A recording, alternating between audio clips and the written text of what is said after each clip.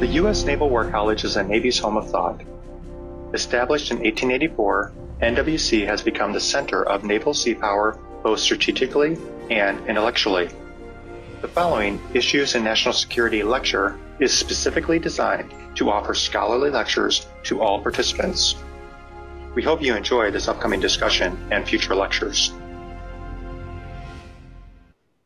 Well, good afternoon and welcome to our seventh Issues in National Security lecture series being held here in the virtual world. I'm John Jackson, and it's my pleasure to be the host for today's event. To kick us off, I'd like to uh, call on Admiral uh, Chatfield to offer her greetings. Admiral? Hello, good afternoon. Thank you for joining us. This is part of a community of scholarship that really inspires my husband David and I. And don't be surprised if you see him before the end of the night. He's on his way over. And uh, so we are looking forward to the topic tonight and to hearing Professor Schultz. Uh, and so um, thank you so much for being here with us. And over to you, John Jackson and Professor Schultz. Thank you very much, Admiral. Uh, this series was originally established as a way to share a portion of the Naval War College's academic experience with the spouses and significant others of our student body. Over the past four years, it has been restructured to include participation by the entire Naval War College extended family, to include members of the Naval War College Foundation, international sponsors, civilian employees, colleagues throughout Naval Station Newport, and participants from around the nation. We will be offering 11 additional lectures between now and May of 2021. An announcement detailing the dates, topics, and speakers of each lecture will be posted by our Public Affairs Office. Looking ahead, on Tuesday, 8 December, I will deliver a lively discussion on drones that fly, swim, and crawl. Please note that my lecture will take place one week from today and that it will be the last lecture until 12 January 2020. Okay, on to the main event. Please feel free to ask questions using the chat feature of Zoom, and we will get to them at the conclusion of the presentation. I'm very pleased to introduce our speaker, Tim Schultz, the U.S. Naval War College Associate Dean of Academics. Prior to joining the Newport faculty in 2012, he served as the Dean of the U.S. Air Force's School of Advanced Air and Space Studies. Tim earned his PhD in the history of technology from Duke University and his research interest the interaction between technology, strategy, and the transformative role of automation in warfare. He is the author of The Problem with Pilots How Physicians, Engineers, and Air Power Enthusiasts Redefine Flight from Johns Hopkins University Press, and is co editor of Air Power in the Age of Primacy Air Warfare Since the Cold War, which will be published next year by Cambridge University Press. Tim is a graduate of the U.S. Air Force Academy and the Colorado State University, the Air Command and Staff College, and the School of Advanced Air and Space Studies.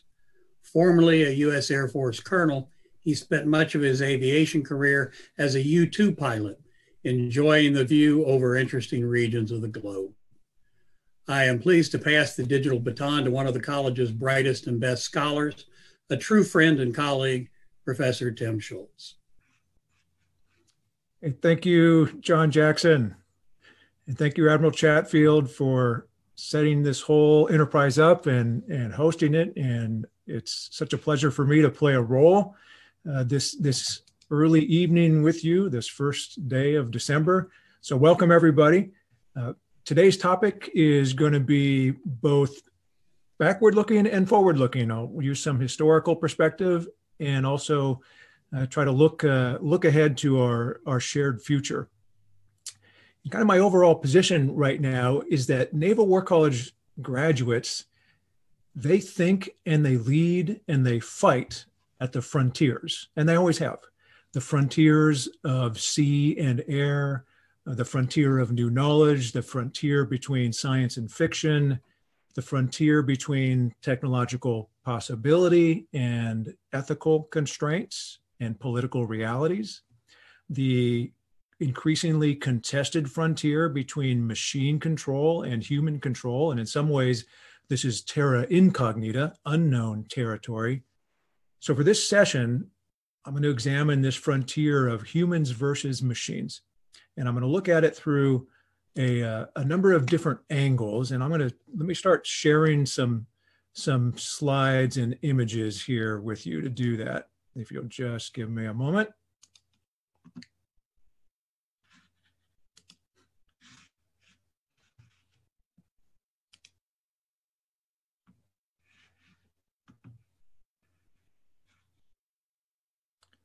Okay, so I'm going to look at this human versus machines or this human machine relationship in uh, in several ways uh, this evening, and we'll use these four kind of ideas, uh, uh the, frameworks to approach the issue, uh, various examples of the fusion of human and machine activity. Sometimes it's a literal fusion.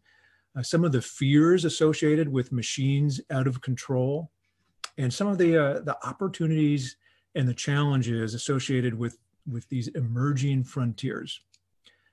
But first, you know what, what's going on with this picture? As you can see, this is not your normal, typical, everyday fist bump. It's something a little bit different. It's a little special for a lot of reasons. Here's whose fists are being bumped.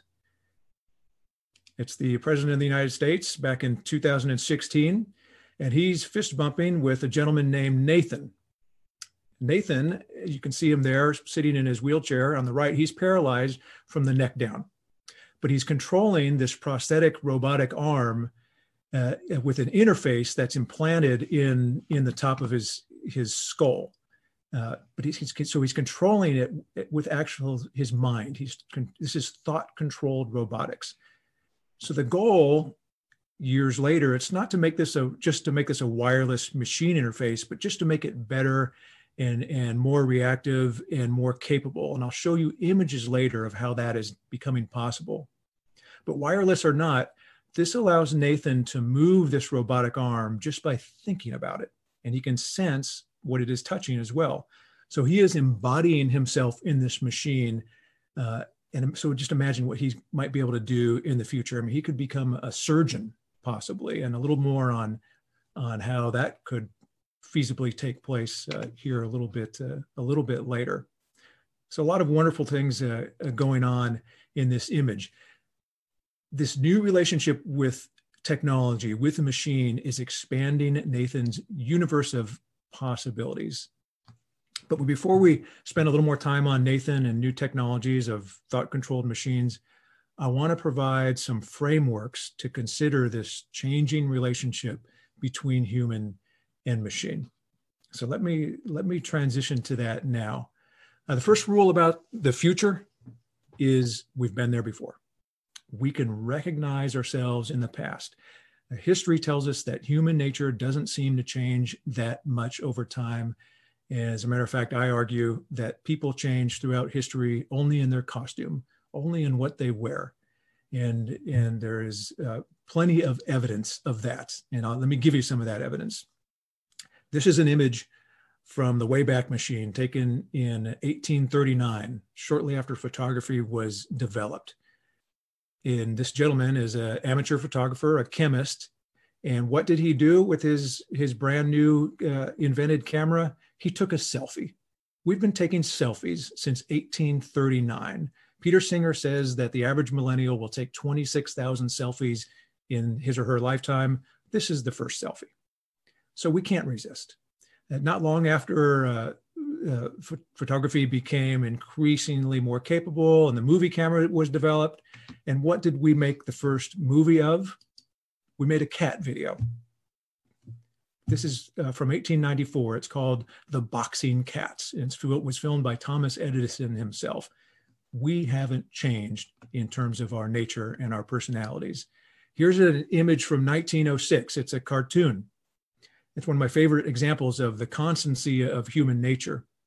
And you may not be able to read the caption I'll, uh, at the bottom. I'll read it, it for you. It says, These two figures are not communicating with one another. The lady is receiving an amatory message, and the gentleman some racing results with, by these, with these devices that are sitting in their laps you see this now a century later at your dinner table every night. Uh, human nature doesn't change very much. And this also applies, I would add, to the profession of arms.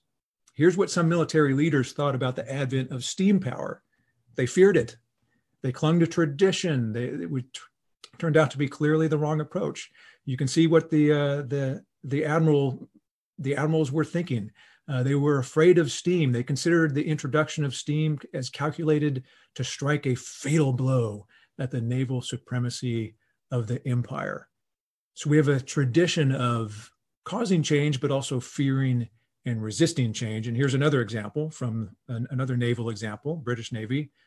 Uh, this is from 1901, shortly after the advent of submarines. Uh, and one admiral declared that they are underhand, unfair, and damned un-English. So again, this fear and resistance to change is, is somewhat of a constant. But let me provide some evidence also of how we've gone through periods of rapid change in the past. We feel like we're in one now. We are in one now, but we're not strangers to it. We've experienced this before. Just consider the 10 year period between 1947 and 1957.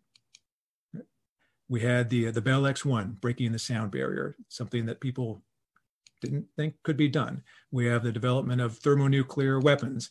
Uh, and nothing says the status quo changes other than when you're sitting in your uh, pool side uh, in Las Vegas at a hotel in Las Vegas and you look on the horizon and you can see a mushroom cloud boiling upward in the distance.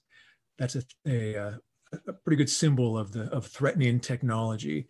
And here are the means to deliver it: uh, the development of ICBMs in this time frame, and the development of the first uh, nuclear submarines. Uh, in this case, the Nautilus. Uh, people were practicing duck and cover drills uh, in the schools.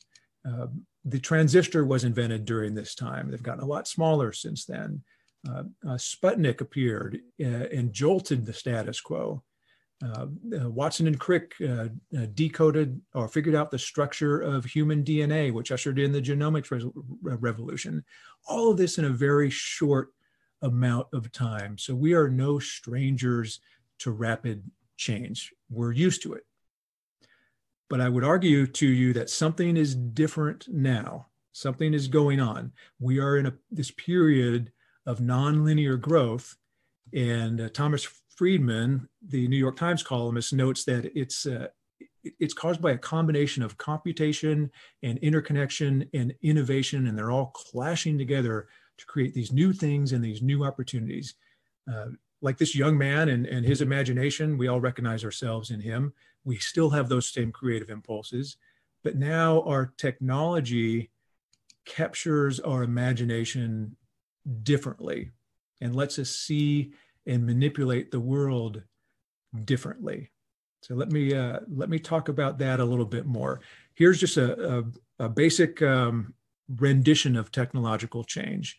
And I'm suggesting here that technological capability rapidly increases over time, particularly in the last few decades, uh, from the say the 1950s to the modern uh, the modern era and it's increasing at, a, at an exponential rate. I mean, this curve describes things like the number of drones in the sky, the number of things and people connected to the internet, the number of people connected wirelessly, the, the, the colonization of the population by smart devices. There are some of you sitting out there right now and you you are wearing a Fitbit, you have a smartphone in your pocket, you're obviously looking at an at a a laptop or a desktop, you're virtually bristling with computational power and it changes your experience of the world. So this curve, it's important because it also highlights a challenge for our Naval War College graduates because there's a super empowerment of not just the state, but the marketplace and the individual. And this is a this is a strategic problem. But there's something else going on here how do we humans keep up with this radical technological change? How do we follow this curve? Uh, Thomas Friedman, uh, in his uh, book, um, Thank You for Being Late, points out that this curve, it looks like a hockey stick and it reminds him of something that the great Gretzky said, He said, I skate to where the, the puck is going to be, not where it has been. How do we skate to where the puck is going? How do we do that as individuals and as an institution? We want our graduates of this institution to, to be able to skate to where the puck is going. And part of this means dealing with human capability. And I've indicated here uh, a slightly upward trend in human capability over time, but that may, might be wrong. Uh, it may be just uh, flat. Uh, it may be actually declining. Some of you with a Twitter feed or a teenager may argue that is in fact declining a little bit. But Naval War College graduates need to figure out how to bend this curve of human capability. And that's a large part of what I'll talk about this afternoon. One way to bend the curve is figuring out how to team up humans and create this human machine teaming ability uh, to cultivate this.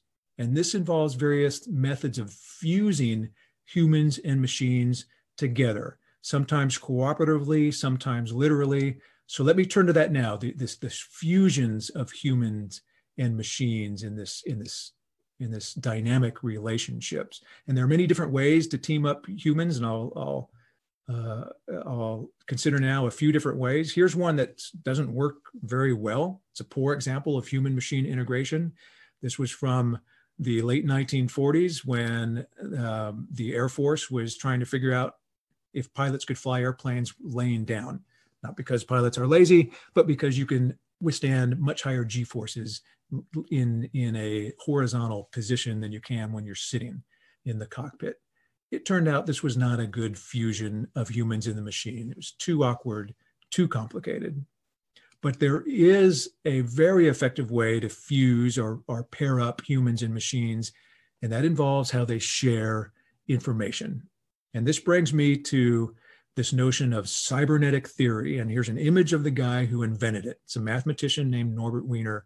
He coined the term cybernetics in 1947. It involves the manipulation of information. And, and Norbert was one of the three titans of the information age in the 1950s, along with people like Alan Turing and John von Neumann, they ushered in an entirely different perspective on how to use information.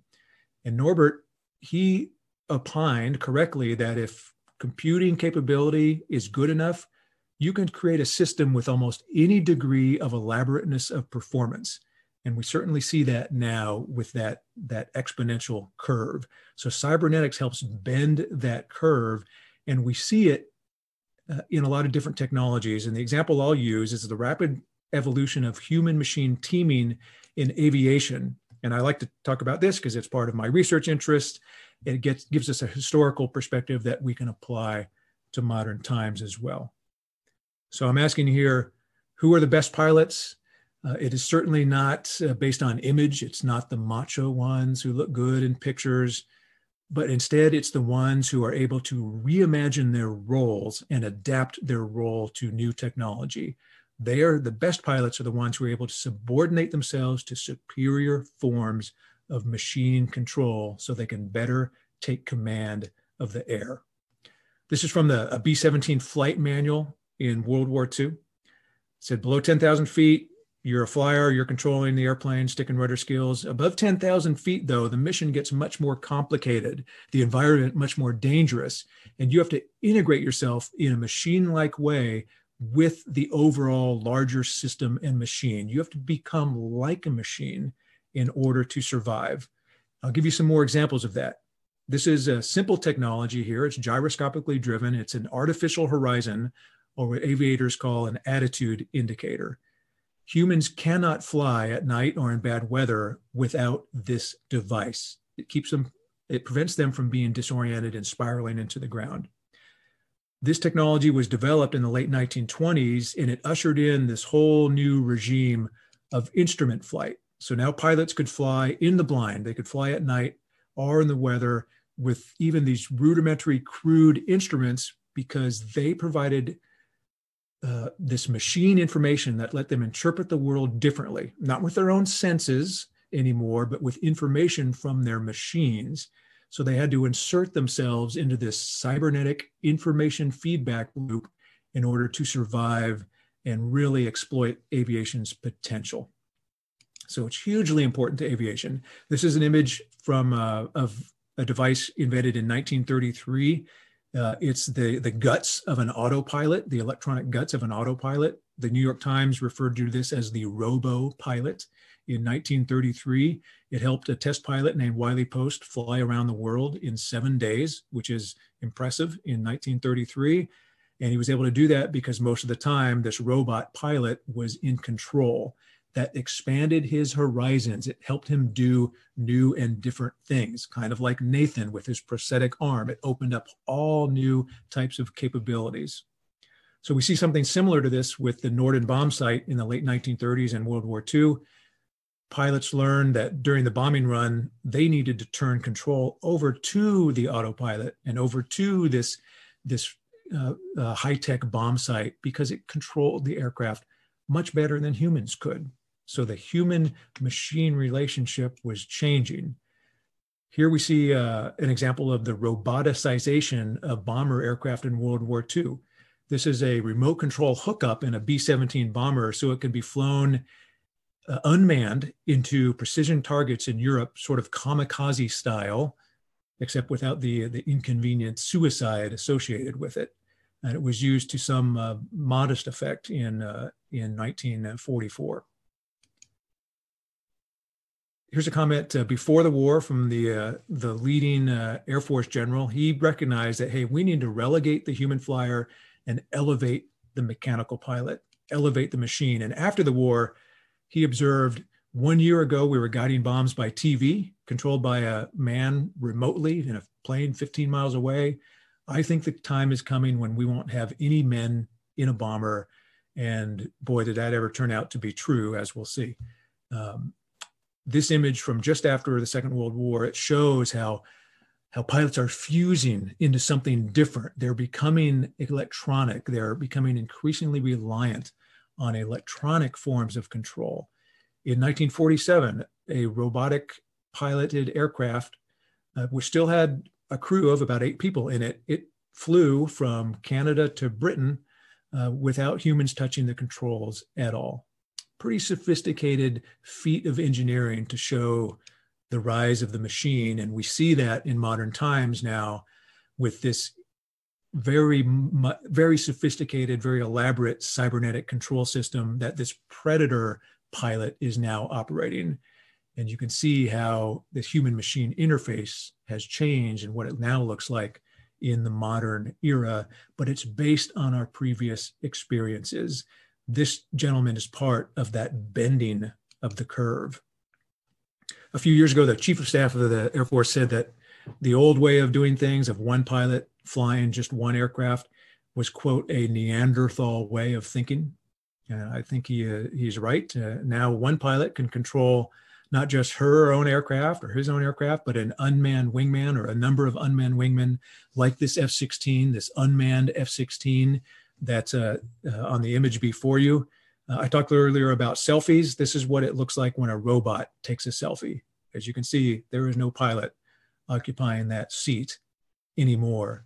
And a few years ago, the Secretary of the Navy said that the F 35 will almost certainly be the last manned strike fighter the, the Navy will buy or fly. And we'll see if that's true. Elon Musk similarly said, hey, fighter jet era has passed, at least the manned fighter jet era has passed. Now it's drones. And you'll get more from that about this from John Jackson uh, during the next uh, uh, lecture uh, later this month, I'm sure. So, but there are some other fusions fusions that I want to talk about um, uh, beyond the history of aviation, uh, where human uh, and machine teaming is important. Uh, this was a, a, headline from just a few days ago about how the Army plans for for robots to be in their platoons, where there's a drone. Uh, every soldier is has a drone, and there are robotic mules, and the soldiers aren't going to necessarily control these robots with uh, keyboard commands or spoken commands, but these robots are going to rely on emotional cues from the soldiers, like facial expressions and signs of stress and body language to aid cooperation actually out in the field. These robots will read their emotions.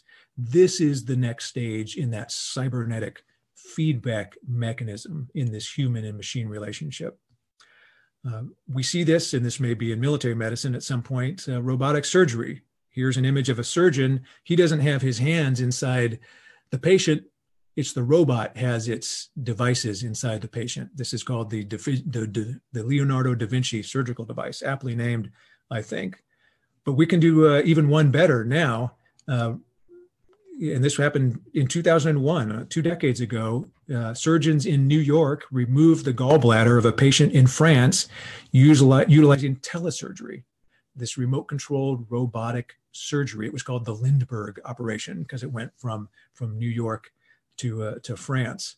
So we can see this changing relationship. And in November of 2019, uh, Chinese doctors did the first 5G enabled remote brain surgery. So we see this relationship changing, and we see it with this notion of cyborgs. We talked about cybernetic theory earlier. Well, a cyborg is just a cybernetic organism. It's an organism that is somehow fused with a machine. And in the modern era, humans are becoming a type of an emerging technology.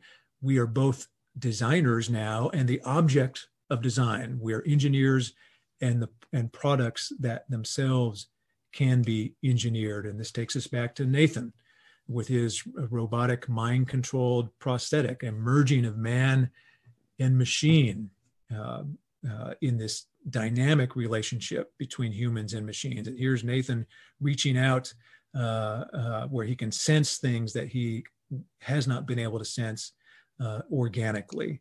And he can he can tell apart these different objects, uh, even with his eyes closed. He can tell what he's touching. There's a convergence here where there's, there's this emergent ability that Nathan is developing as he's embodying himself in this new machinery.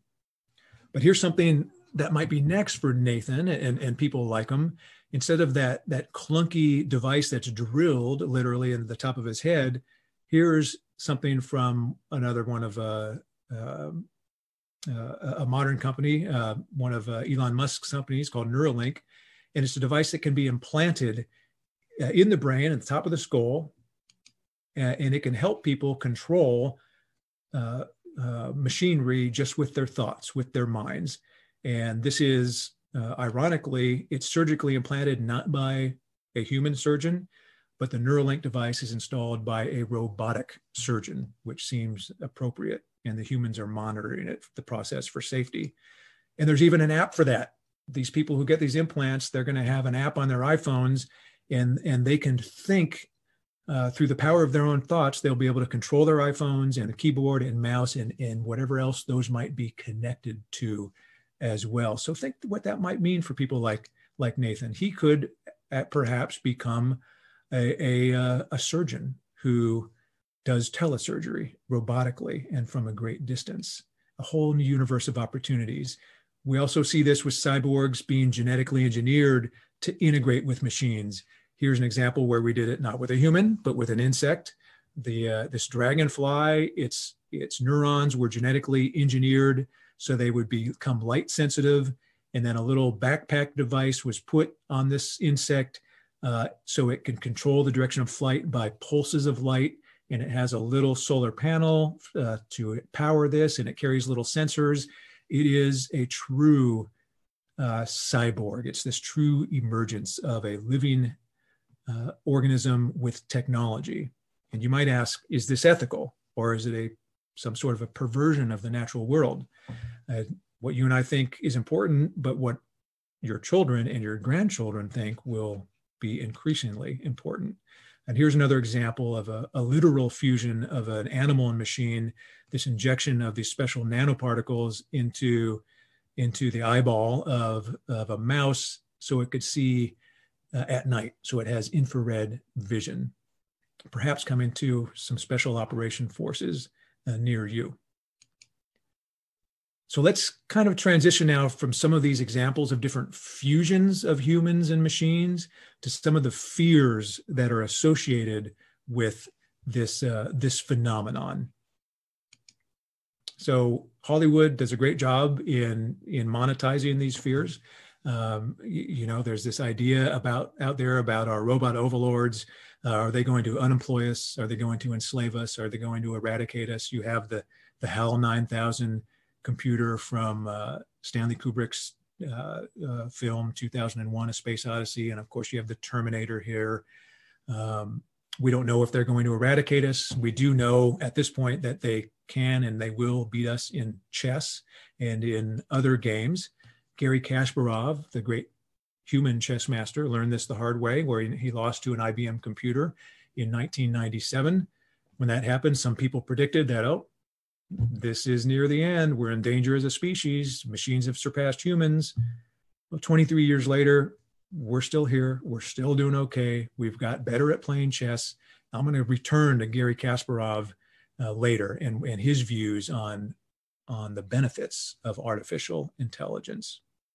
But let me, in terms of the fears, though, I'm going to break it down into these topics this notion of big brother and big other, and loss of cognitive control, loss of physical control, and this concept of the singularity. And I'll, I'll, let me address those briefly here. So, Big Brother notion's been around uh, since Orwell wrote his book 1984 in the year 1948. We hear the term Orwellian applied to a lot of today's technological advances. One of those is rooted in an old concept that's called the, the panopticon.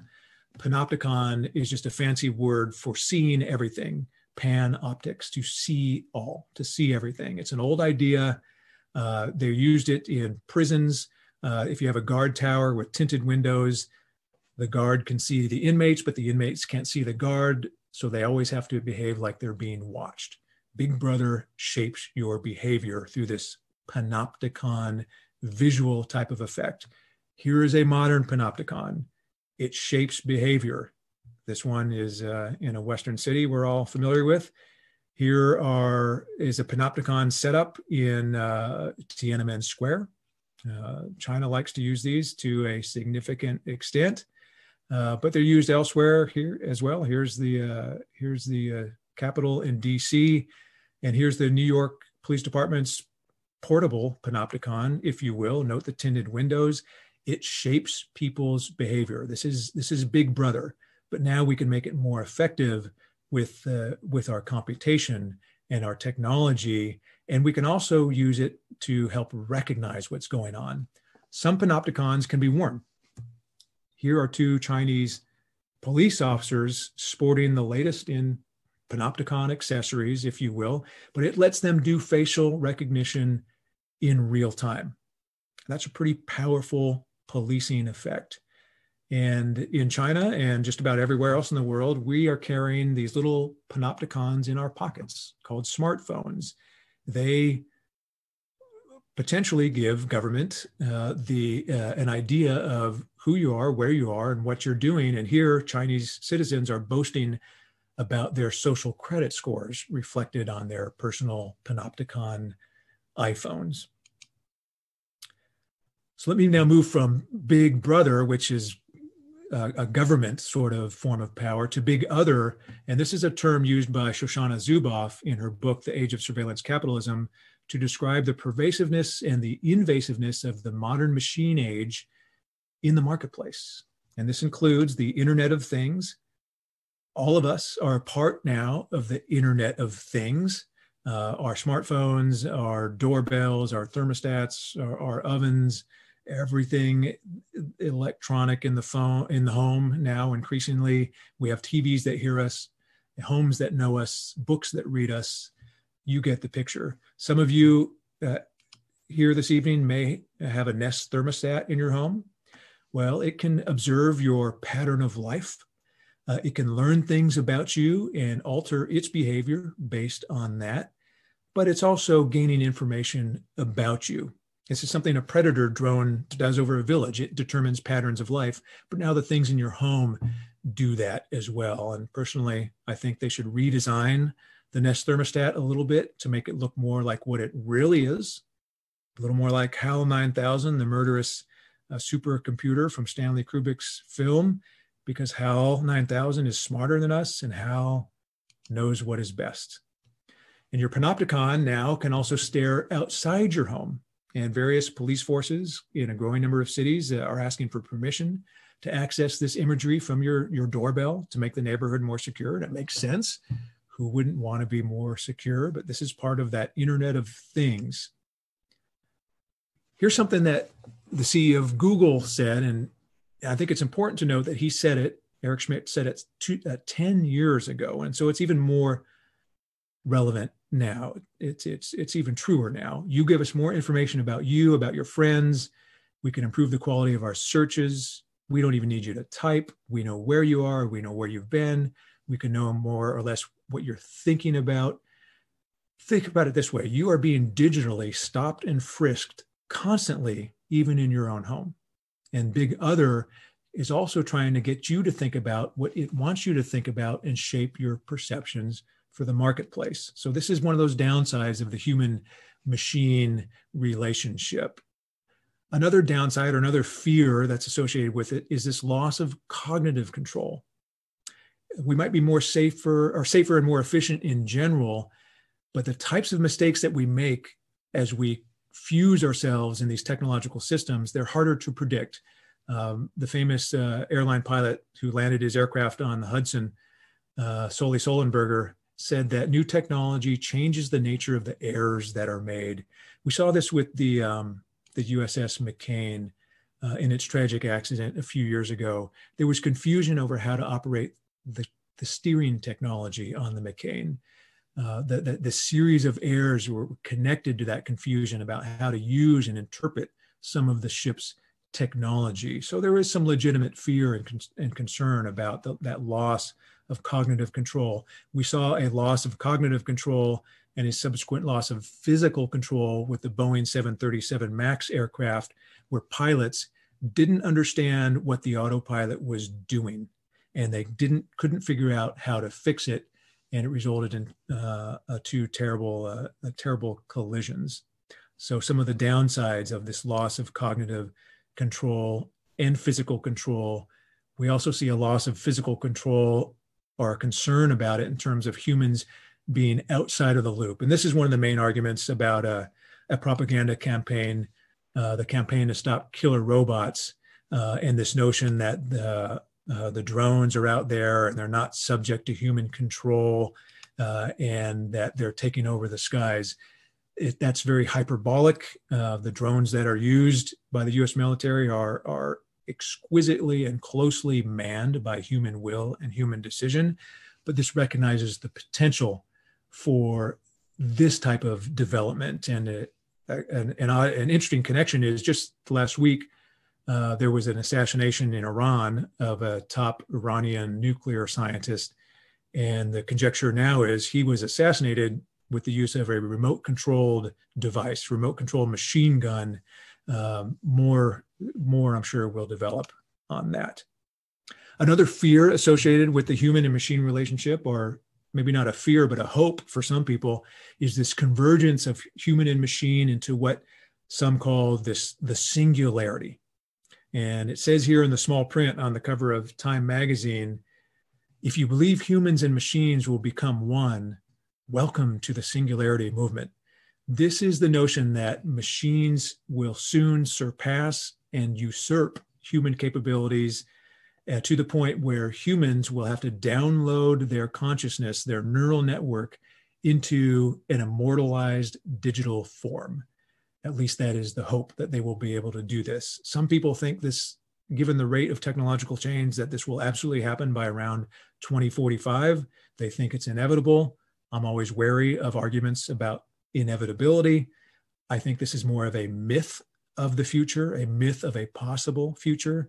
It sounds to me more like a techno mystical ideation of the future, but it has something that a lot of people express concern uh, about. And this brings us to the idea of the notion of frontiers. And this is the fourth major segment I'll, I'll talk about uh, uh, this evening uh, in terms of this human machine relationship and the frontiers uh, that are involved with it. We've already talked about some of them, but let me be um, a little more um, explicit. Uh, here's an example from the Navy. We're in a age of cognitive computing decision and cognitive assistance, machine assistance to help us all make sense of this data, this immense amount of data, and this is of, uh, of uh, the, uh, the Sea Hunter, uh, an unmanned uh, uh, naval vessel developed recently. Um, it brings me to the notion, this frontier really of cognification. Uh, think about it this way. Well, I'll compare it to cognification to electrification. Electrification gave us a new form of of power. It let people heat their food and cool their drinks and operate their machinery and watch Game of Thrones and all of these good things. Just by plugging something into a power outlet. But now, instead of plugging into an outlet, we can plug into the cloud and open up all sorts of different possibilities. We have access to these forms of cognification, things, these forms of intelligence, artificial intelligence, that do some of our thinking for us. They interpret the world for us. They let us focus on different, more creative things.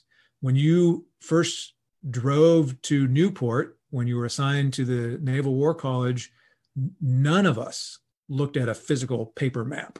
We looked on our smartphones or used Waze to help us drive here. That's cognification.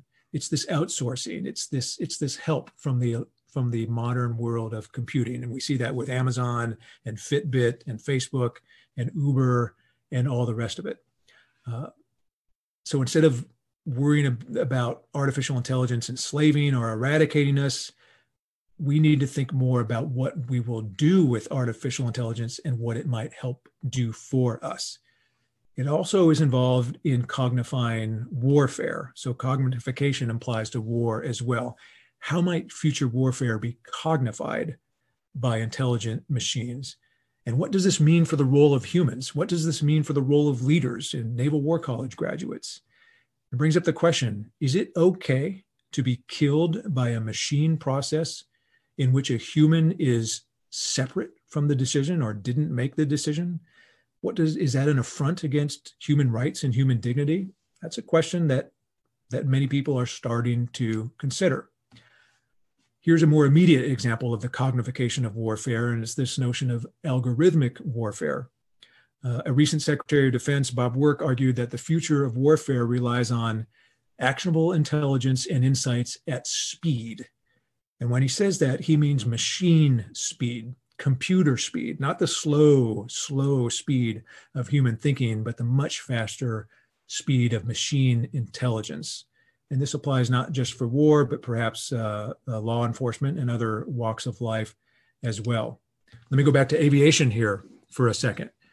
There's an old time pilot there on the left and a newer one on the right. We've gone from pilots relying on their basic senses and sensibilities to pilots who now rely on computer generated imagery of the world, this cognified view of the world.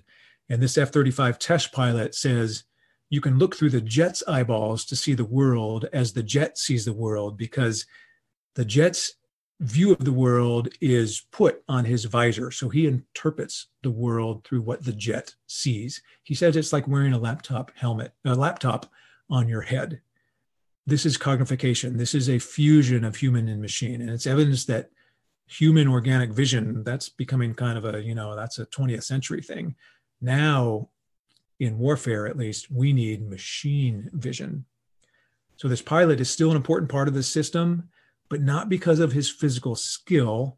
He's important because he's learning how to become a manager of systems and he's freeing himself up or herself to see things more holistically and creatively and exploring new frontiers in the command of the air. So we fought robots in the air before. Here's an image from 1944. This is a British Royal Air Force Spitfire uh, taking out a, a German robotic drone, a V 1 drone. Uh, it uh, basically comes up next to the drone and flips the wing and it tumbles the drone's gyro, and the drone then spiraled into the English Channel. But this was a fight against an unthinking drone, an unthinking robot what if the robot thinks and acts faster than its human adversary? Well, we have that now. Just recently, a couple of months ago, artificial intelligence easily beat. It dominated a human fighter pilot in a, uh, a trial put forth by the Defense Advanced Research Projects Agency and also uh, uh, done in concert with Johns Hopkins Applied Physics Laboratory. And in this experiment, the artificial pilot won uh, five to nothing. Uh, it, it, beat the human pilot uh, every time. The score was 5 0. If this was combat, the artificial pilot would have been decreed an ace. So, in the future, would you even know if you are fighting a human or an artificial intelligence? This brings us to Alan Turing's notion of the imitation game, something he uh, uh coined way back in the 1950s. Can artificial intelligence convincingly mimic human behavior? Here's a brief paragraph on this topic, um, and it's pretty insightful. It says artificial intelligence programs lack consciousness and self awareness. They will never be able to have a sense of humor. They'll never be able to appreciate art or beauty or love, never feel lonely, never have empathy uh, for the animals or for the environment. They'll never enjoy music. They'll never fall in love or cry at the drop of the hat. I, I, it makes you wonder who wrote this because it seems pretty insightful. Well, as it turns out, this wasn't written by a human. It was written by an artificial intelligence program called GPT-3. The GPT-3 program was fed a prompt of say a few words or write a few words expressing skepticism about AI. And here's what the AI came up with. It mimicked human intelligence to an astonishing degree. Here's some pictures or images of humans, another form of mimicry, because none of these are real people. They're all AI generated images, and you're seeing this used more and more in commerce because you don't have to pay these models and actors. Uh, you can just create them with AI. Uh, we'll see where this might go in the future. Um, in terms of, uh, of, connecting to the past, we've all heard the term sea change before, and it comes from uh, a line in Shakespeare from uh, uh, the play The Tempest. And you can see it here in the last two lines where he talks about uh, suffering a sea change, becoming something rich and strange. Is the human machine relationship undergoing a sea change? Are machines becoming something rich and strange? And are they making us humans become something rich and strange?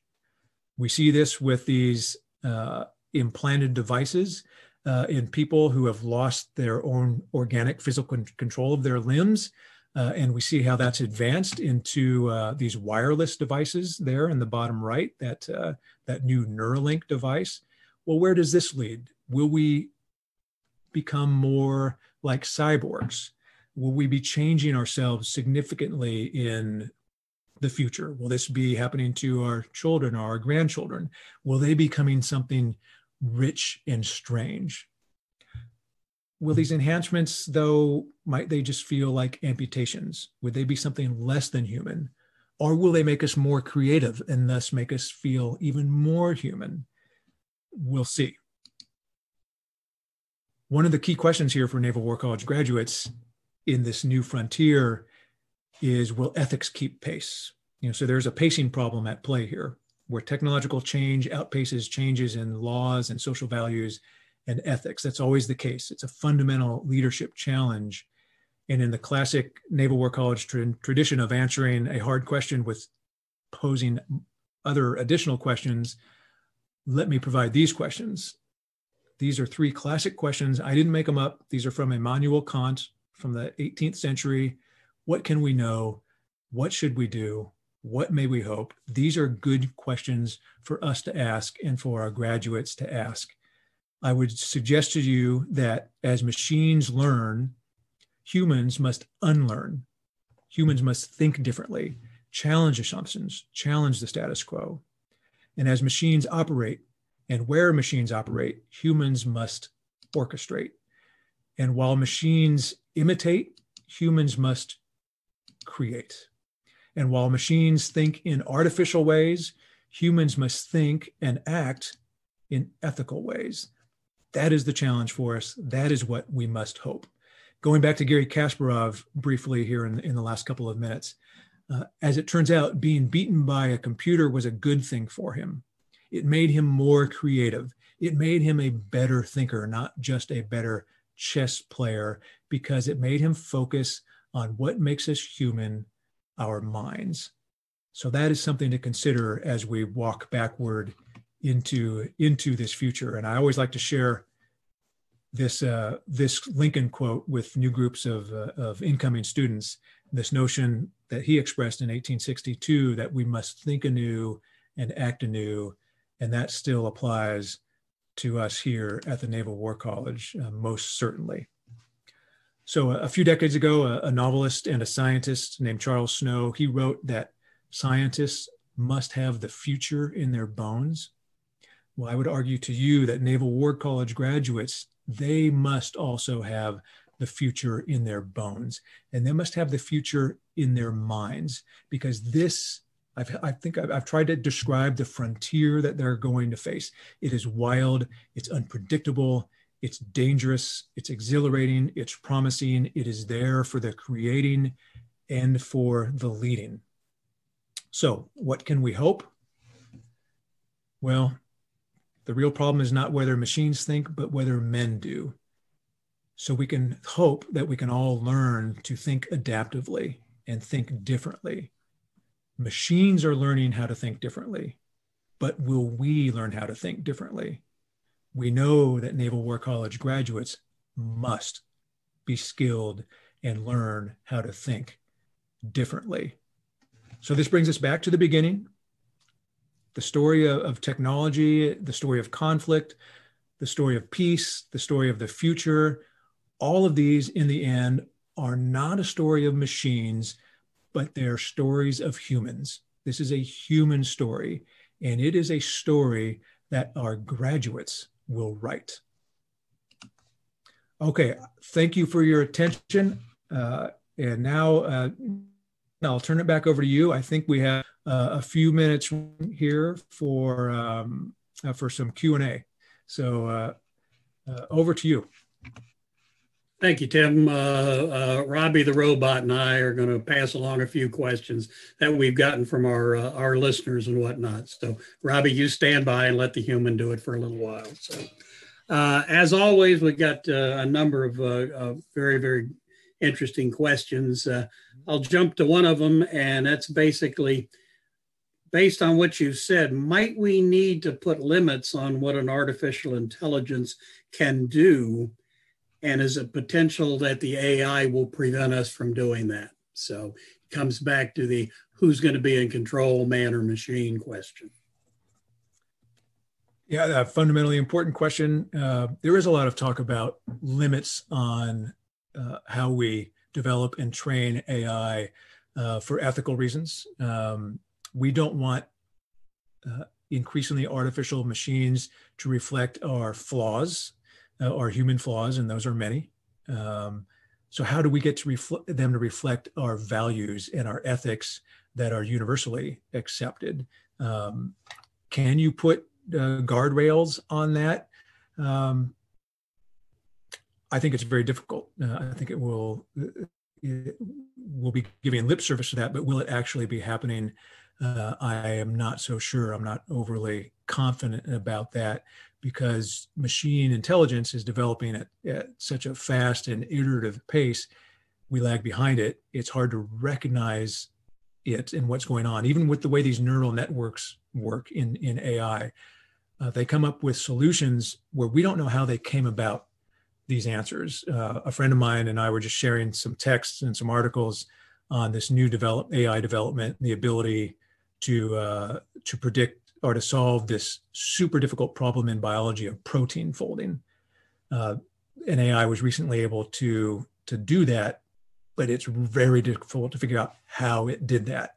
So keeping up with AI and corralling it and and focusing it, that is replete with with many new challenges. Uh, so um, I think the important thing to remember is that we humans are still the ones who create and we fund and we and we steer research uh, but we also need to embed in those institutions government institutions marketplace institutions the importance of of our ethical values and ethical behaviors we need to be talking about that much more uh, uh as a society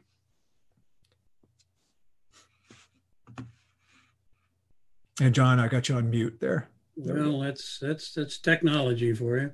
Uh, the Chinese have said they intend to be the world leader in artificial intelligence within the next several decades. Do you believe the United States is doing enough from a uh, national perspective to look into what AI needs to be and how we need to control it and how we need to partner with these systems in the future?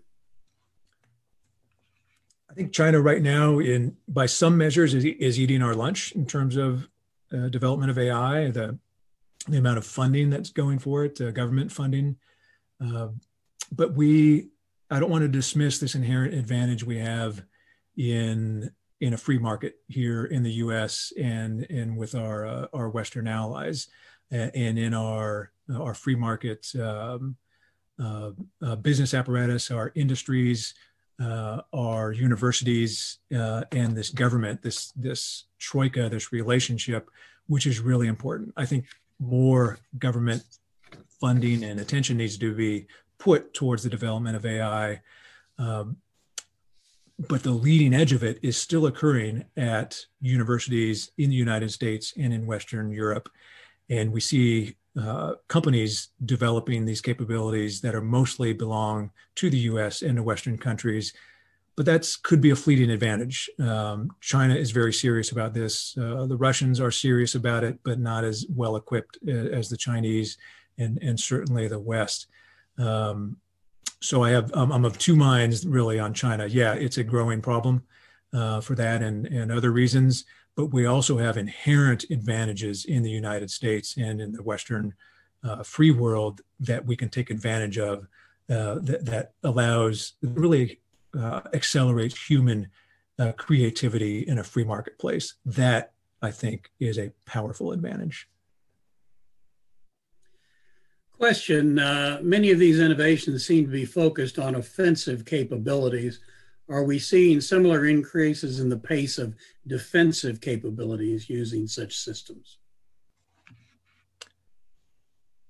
Yeah, I think uh, those two will proceed a, a pace and, and, in a complementary fashion, just as as they do in terms of the the traditional arms races. You're going to see a, a shifting focus on offense and defense. Um, something that comes to mind is is Israel's Iron Dome uh, system.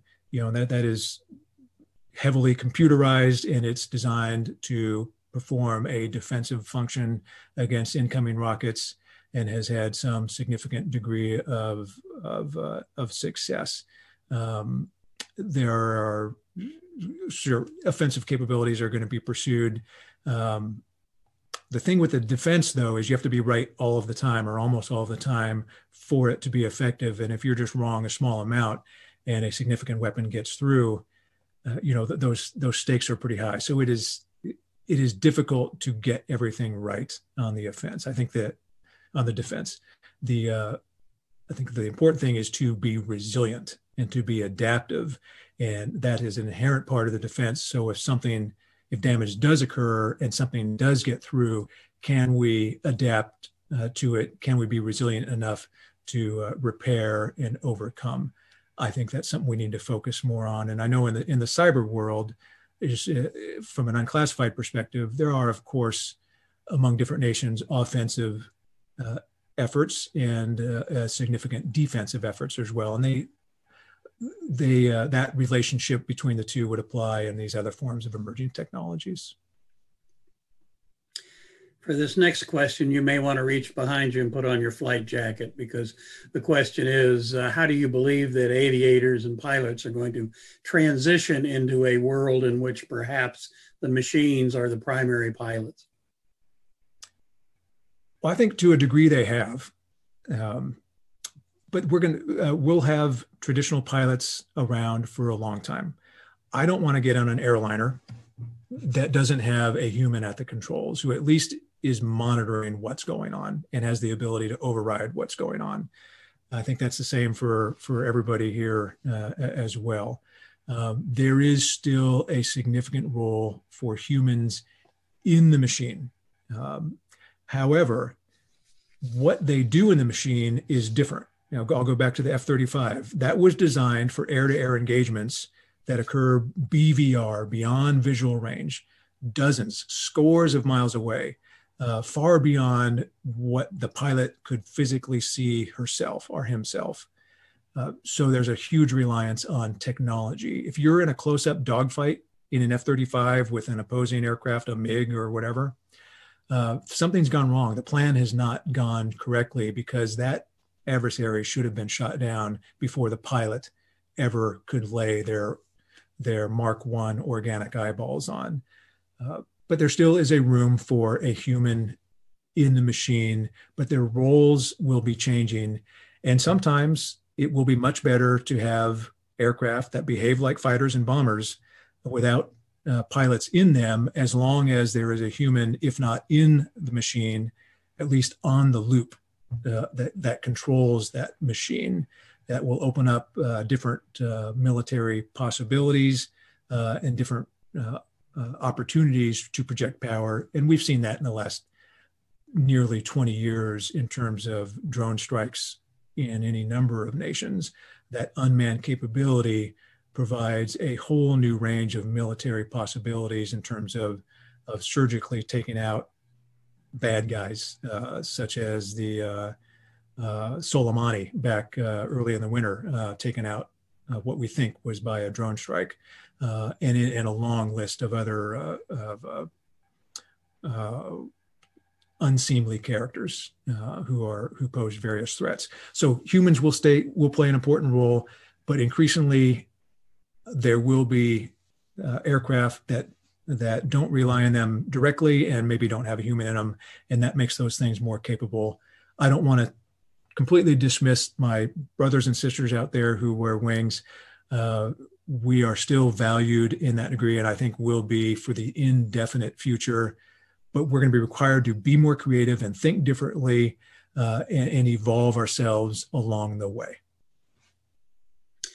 And we're about out of time. Tim, maybe one final question, and you've touched on it a little bit, is what's the proper balance between uh, technical education and the humanities in the professional military environment, professional military education environment? Well, we're mostly a humanities, exclusively a humanities program here, almost exclusively. Um, the, the, the STEM aspect fundamentally important. Uh, we need men and women uh, in uh, the profession of arms and the national security apparatus of our country and our and our allies who are steeped in science and technology and engineering and, and mathematics, uh, especially in the modern age. But we also must have those same people imbued with a sense of the humanities. As a, as a, a friend of mine, Tom Hughes, emphasizes, strategy is a humanity war is a humanity. It's not humane necessarily, but it is a humanity. It involves politics and economics and, and culture and anthropology and language and all of these things outside of, of the STEM world that our graduates must be well versed in because we're teaching them not specific ways to think about specific technologies, but how to think about how to adapt technologies to the evolving security environment and to the human condition and how to lead in that environment. And that ultimately is a humanity. And that shows that that it's so important to integrate those two together. That's what we're about here at the naval war college. Nicely said. Thank you tim. Any last comments before we uh, switch back to uh, admiral chatfield for her closing remarks? Any last thoughts, Tim? Well, I just want to thank everybody for their attention and for you, John, for uh, uh, for introducing this and and scheduling it, and uh, Admiral Chatfield for orchestrating all of it and making it possible where we can just come together and talk about ideas uh, and and just try to make each other uh, think better in this dangerous world, yes, but also this one with wonderful opportunities and a future that we can make, uh, and we're going to make it together. And I think we can make a good one. Thank you, sir, very much. Uh, normally, we have a family discussion group meeting, but considering that we're all very, very busy this time of year, we're going to uh, conclude uh, with uh, Admiral Chatfield's remarks. So, Admiral, over to you, ma'am. Well, I want to say uh, thank you so much for uh, Professor Schultz. Uh, just a really uh, thought provoking lecture this evening.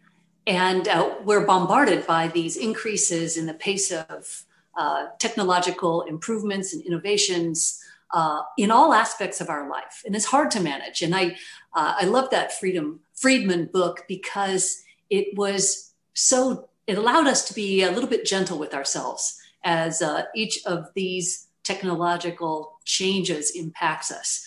And, uh, and as I think toward the future and think, uh, you know, how much has changed already since uh, I entered the Navy 32 years ago, um, I, I think the pace is the biggest change as how quickly things change for our young officers, our mid grade officers, and our senior officers.